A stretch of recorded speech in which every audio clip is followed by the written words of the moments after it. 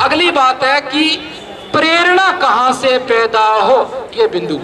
पाँच मिनट बोलूँगा, ध्यान से सुनिएगा कि मोटिवेशन की दुकान कहाँ है, किस हाट पे ये मिलता है। हमारे घरों में जो समाजीकरण होता है, उसमें गड़बड़ है।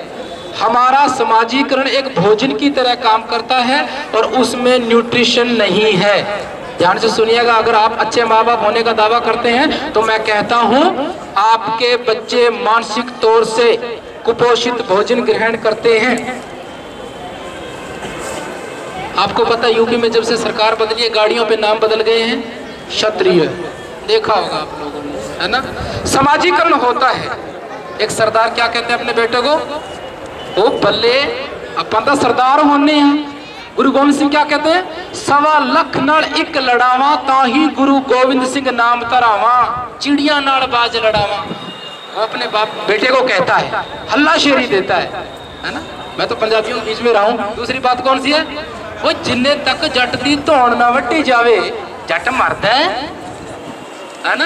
ये जो स्लोगन जो है ना, ये मोटिवेट करते हैं बच्चों को। और सीना चौड़ा हो जाता है। गर्व से बच्चे सोचते हैं हाँ बात तो सही है। मैं शेर सिंह शेर भी सिंह और सिंह भी सिंह और हमारे भोलू राम, है ना? भोला राम। अब भोला सोचता मैं भोला, ऊपर से राम। मेरी परसेंटेज अच्छी ना भी है तो क्या दिक्कत है? मैं तो भोला हूँ ना। अगर बच्चे का नाम ही शेर सिंह हो और होशियार सिंह हो तो फिर मनोविज्ञान कहता है, नाम का आपके दृष्टिकोण पे सीधा असर पड़ता है। एक रीजन, नाम का आपकी काम करने की दक्षता पे भी सीधा असर पड़ता है। दो कारण तो आपके समाजीकरण में बहुत बड़ी गड़बड़ है। आप बच्चों क्या कहते हो भाई? है ना? बुरा तो नहीं मानोगे?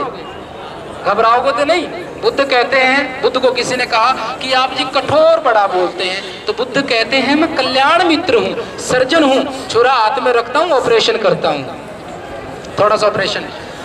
वो कहते हैं कि हम राजपूत होते हैं, राजपूत हम सरदार होते हैं, सरदार फलाना फलाना होते हैं, वो अपने बेटे को हिम्मत बनाते हैं, है ना? आप क्या कहते हो फिर? मैंने सुना है, पढ़ा नहीं है, लिखा नहीं है, प्रैक्टिकली सुना है। अजी हम तो शुद्ध चमार हैं। इस शब्द को पढ़िए जरा। चमार वर्ण व्यवस्था में कीचड़ को कहा जाता है है ना? नीच जो है, गंदा है, जो सूगला है, ये सारे गुण कीचड़ में तो होते हैं। और कीचड़ की अपनी फितरत है, अपना स्वभाव है कि वो शुद्ध हो ही नहीं सकता। कोई चीज़ शुद्ध तब कही जाती है जब उसमें अन्य कुछ न मिला हो। इतने बेहोशी में बोलते हैं, और कहें भी तो क्या? और है भी तो क्या? बाबा साहब जो बताते हैं वो सुनते नहीं हम बुद्धि विहार का हमें एड्रेस नहीं पता है। मोटिवेशन बात को याद रखना।